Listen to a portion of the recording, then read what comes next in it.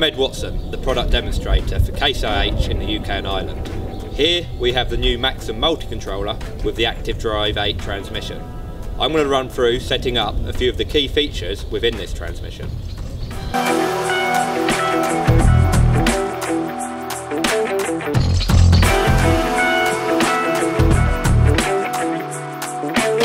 We're going to look at setting up the brake to clutch feature known as the Active Clutch 2. With this feature we can put our foot on the brake to bring the tractor to a standstill without having to use the clutch. As soon as we let go of the brake the tractor will then begin to accelerate again. With this feature we can also have an inching control so if we're reversing up to trailers or anything like that we can use the brake pedal to inch towards the implement. We're going to look at setting it with the Pro 700 screen. To enter the menu to activate the Active Clutch 2 we press the transmission symbol in the top left hand area of the screen. You can see down here we have the settings for the Active Clutch 2 and we have four settings. Off where the tractor will work as a conventional tractor where we need to use the clutch when we come to a stop. Then we have low, medium and high. So if we have it in low, I have to put a light pressure on the brake pedal to bring the tractor to a stop. If I then put it in high, I have to exert higher force on the brake pedal to bring the tractor to a stop. The active clutch feature is ideal for loader work, round balers, inching up to implements, and also on the road when coming to junctions. If the tractor isn't fitted with a 700 screen, we can activate the active clutch 2 within the instrument cluster. To do this, I need to press and hold the program button within the first five seconds of the ignition coming on. This brings us to the configure menu. Using the up and down arrows, I can then go down to active clutch. And here I have the same settings for off, low, medium and high. I can then go down and select whichever value I want and then exit back to the main run screens. Therefore, we don't need a 700 screen to activate the active clutch 2. When I want to bring the tractor to a stop, I can just put my foot on the brake, no need for the clutch, and we'll come to a standstill. When I want to move off again, I just release the brake pedal and accelerate away.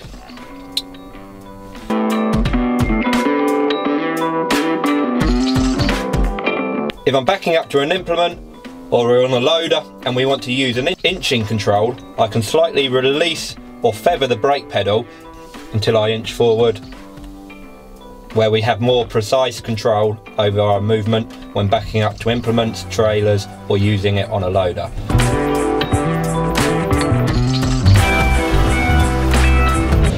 To activate the auto road mode we need to press the button with the trailer symbol and the green light will become illuminated. As soon as we start to move, this will become solid. This will indicate we're in the auto road mode. You can see on the screen here which gears the auto road mode is going to work between. So currently it's going to work between B1 and C8. In auto road we can upshift automatically between all power shift gears in range B and in range C. So currently it's going to work between B1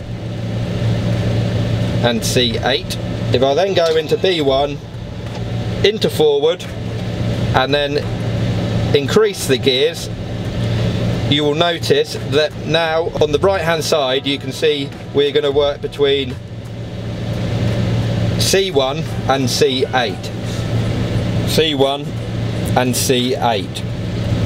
If I then manually decrease the gear, you can see we're increasing our span to use all gears within range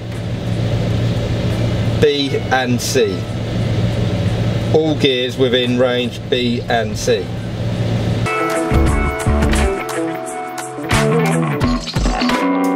We can have the option of the Eco Power lever.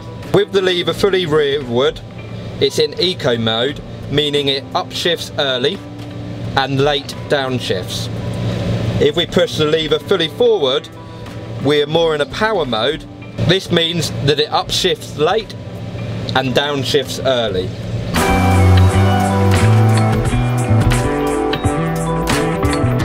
This button here is the shuttle aggressiveness. With one light on, it's going to be a smooth transition from forward to reverse. With three lights on, it's going to be a more aggressive transition from forward to reverse. Number one would be more suitable for road applications. Number two, for field applications.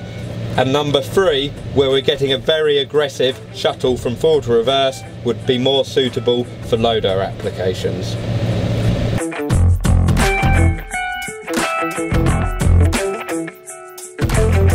So with this transmission we have a smooth shift option. We have three options, on, off or auto. So when we have it on, when we change gear, either upshifting or downshifting, the engine RPM will fluctuate to match the gear speeds to get a smoother shift. If we have it on off, when we make a gear change, the engine RPM will remain exactly the same, resulting in a slightly more aggressive shift of gears. When we have it in auto, it will operate normally, so increase or decrease engine RPMs when we shift. As soon as we engage the PTO, it will go to the off position automatically, meaning we're getting a constant engine speed with no fluctuations as we shift gear.